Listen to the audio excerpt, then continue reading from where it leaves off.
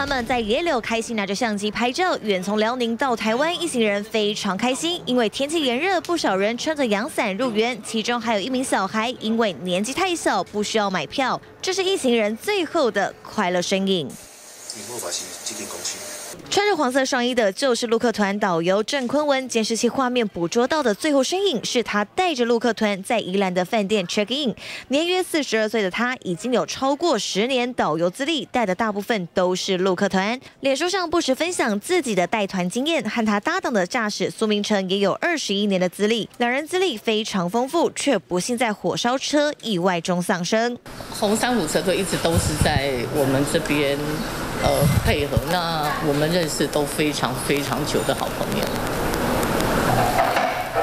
陆客团刚游历过的店家得知不幸消息，非常惊讶。嘉义的茶叶店老板谈起罹难的导游和驾驶，难过的哭了。多年合作都已经是老朋友。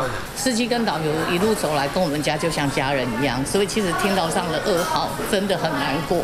这团二十四人的六客团是参加八天七夜环岛行程，团费只有一万三，属于低价团。一行人十二后入境，游遍了台湾知名景点，包括野柳、故宫、日月潭和阿里山，以及泰鲁阁。原定在周日下午搭机返回大连，却遭遇不幸。呃，今天这个团发生的事情，其实我们也感到很惊讶，因为一开始中午的时候，我们也是由新闻媒体上得知这个消息。那我们一开始知道消息之后，马上联络导游跟司机，但但是都联络不上人。承接陆客团的巨龙旅行社经营陆客生意多年，每个月接团达到两百团。目前还有约十多团在台旅游，将安排陆客家属来台，并处理后续的赔偿事宜。记者综合报道。中天电视全新制作强档大戏《美好年代》。